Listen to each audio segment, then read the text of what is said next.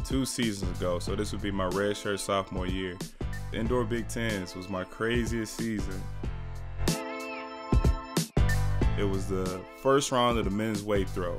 Lonnie Pugh was my old teammate, and me and Lonnie are kind of the top dogs in the flight. And uh, third round comes up, I take first place. Just broke the school record by a foot. So I'm like, yeah, man, I'm about to get my first ring.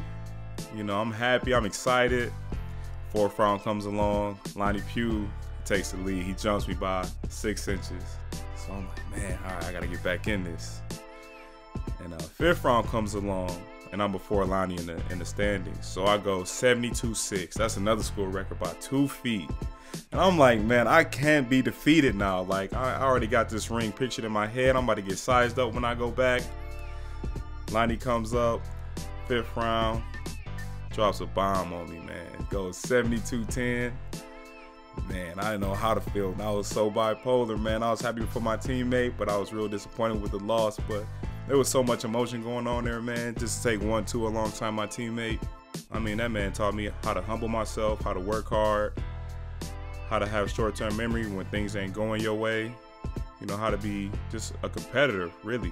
Lonnie was a competitor. That's what defined Lonnie Pugh, and he helped me make that a part of my character too.